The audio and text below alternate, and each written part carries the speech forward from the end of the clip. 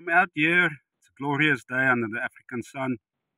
Uh, I brought out my Lee Enfield uh, to do some gong shooting over 100 meters. The bullet I'm using today is the Lee 115, 115 grain, uh, what they call the Lee soup can. It's a 115 grain uh, um, Lee uh, cast bullet.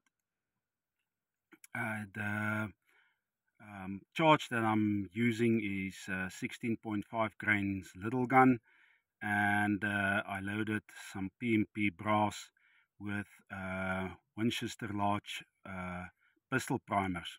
So um, let's see how they do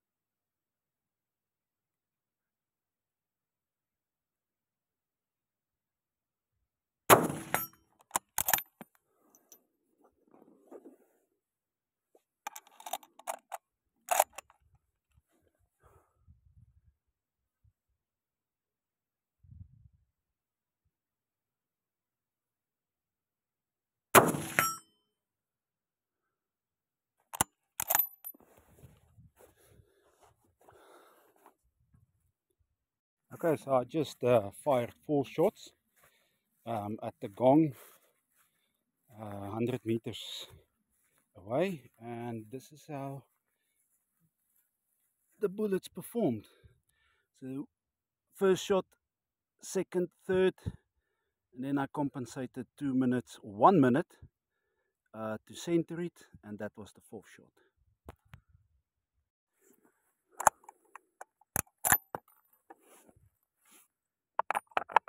Since I fitted the Axis Precision Worx muzzle brake and tuner, the accuracy of my cast bullets has increased dramatically.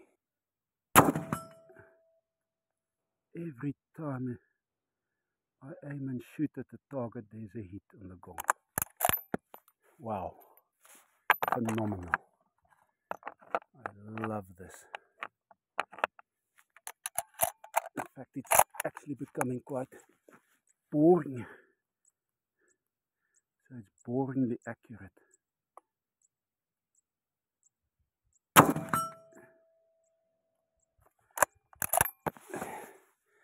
Just imagine what this little bullet will do to a jackal or a coyote. I think this is a quite good varmint load.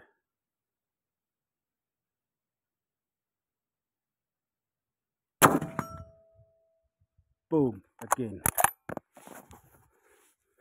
15 rounds,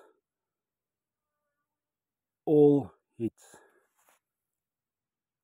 What I enjoy about shooting this particular cast bullet, uh, because of its weight, 115 grains, it is a um, very fun bullet to shoot with because the report of the rifle uh, with earmuffs on sounds like uh, I wouldn't even describe it maybe as as loud as a um, uh, uh, .22 LR uh, maybe a little louder but what I find is that this bullet with the propellant charge has hardly any recoil. And it's fun just for plinking uh, it's not a lot of uh, money that you spend on each round. I mean 115 grains a gas check.